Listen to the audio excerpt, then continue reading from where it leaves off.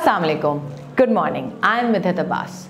I welcome you to Gohar Publishers. They have a strategy of redefining the geography of education through digital resources for conceptual learning. So kids, हम लोग क्या कर रहे थे unit two from Gohar English textbook grade four जिसका नाम है helping others हम कंटिन्यू करने वाले हैं यूनिट टू की एक्सरसाइज का अगला सेक्शन जो कि है गौहर पब्लिशर्स की ग्रेड फोर की इंग्लिश टेक्स्ट बुक में से जिसका नाम है helping others so let start page 15 section C formal and lexical aspects of language इसका पहला क्वेश्चन विच इज़ ए कहता है read each sentence and look carefully at the underline words आपने नीचे दिए हुए जुमलों को पढ़ना है और जो वर्ड अंडरलाइन हुए हैं, उनको गौर से देखना है। अब, इसमें क्या है? इसमें यह है कि अगर तो अंडरलाइन वर्ड्स ऐसे वर्ड्स हैं जो किसी चीज़ का नाम है यानी name of a person place animal और थिंग क्या याद आता है ये किस चीज़ की डेफिनेशन है?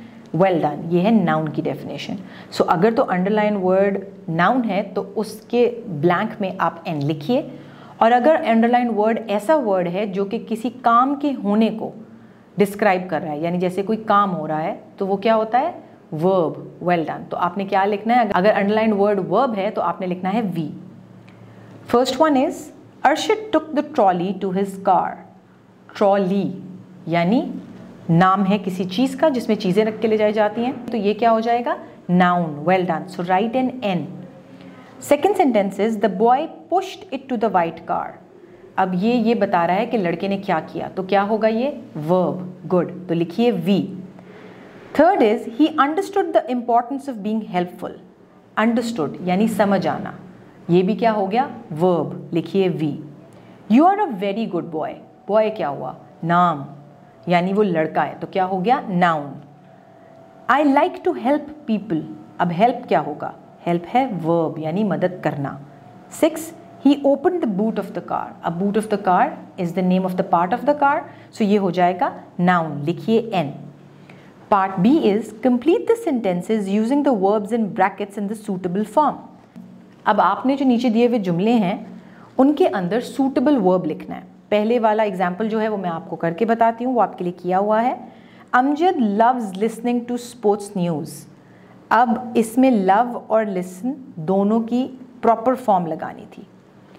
First one is Danish dash computer games enjoys playing computer games. Two, Salim enjoys surfing the internet. Three, my brother dashed the fish, likes feeding the fish. Fourth, Tahir dash animal stories, dislikes reading animal stories. Fifth, the children dash stamps, enjoy collecting stamps. यहाँ पे children क्योंकि plural है इसलिए enjoy के end में s नहीं आएगा. Sixth, she really dash enjoys cycling. Let's move to page number 16. Part C says, rearrange the letters in these words to form new meaningful words. जो नीचे अल्फाज दिए हुए हैं, आपने इनके लेटर्स को रीअरेंज करके एक नया वर्ड बनाना है। और जब आप ऐसे नया वर्ड बनाते हैं तो उसको क्या कहते हैं? एक्सलेंट एनाग्राम्स एनाग्राम्स में आप गिवन वर्ड्स के स्पेलिंग्स को रीअरेंज करते हैं, यानी लेटर्स को रीअरेंज करते हैं और एक नया वर्ड बनाते हैं। अब पहले वाला है माइल्स तो ये क्या हो जाएगा?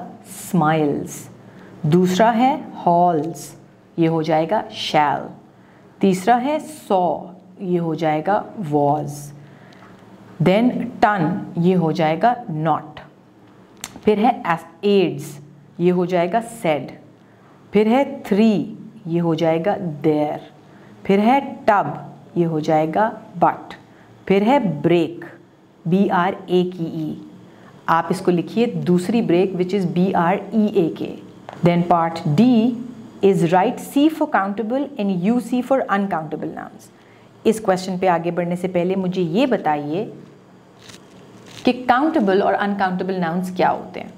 सोच रहे हैं? Let me recall it for you countable nouns ऐसे होते हैं जैसे हम कहें सिक्स कप्स तो सिक्स कप्स पड़े होंगे, आप काउंट कर सकते हैं। अनकाउंटेबल क्या हो जाएगा? सम वाटर अब सम को हम काउंट तो नहीं कर सकते ना? सम इज़ अ वर्ड सो ये हो जाएगा uncountable nouns so let's see cloud cloud आप काउंट्स कर सकते हैं? नहीं. So it will be U C यानी uncountable noun two smoke again आएगा U C three tree it will be countable four pencil countable five lake countable six apple countable seven rice uncountable. 8 salt, uncountable. Part E is, circle many or much as appropriate in the sentences below. अब ये जो नीचे जुमले दिए हुए हैं, इनमें आपने चूज़ करके मैनी या मच लिखना है ठीक है first one is how dash pizza is left how much अब मैं मच और मैनी की जगह डैश कह रही हूँ he has got dash books many books three they have dash toys at home many toys at home how dash pens are there in the drawer how many pens are there in the drawer five You can see dash apples on the tree, many apples on the tree. अब ये much और many भी जो है ये दोनों भी countable और अनकाउंटेबल में यूज़ होते हैं। जैसे अगर अब मैं बात करूँ मैनी तो मैनी इज़ फॉर काउंटेबल और मच इज़ फॉर अनकाउंटेबल अब मैं वीडियो यहीं ख़त्म करती हूँ। अगला सेक्शन हम नेक्स्ट वीडियो में डिस्कस करेंगे। तब तक के लिए मुझे इजाज़त दीजिए। This is me signing off अल्लाह हाफिज़।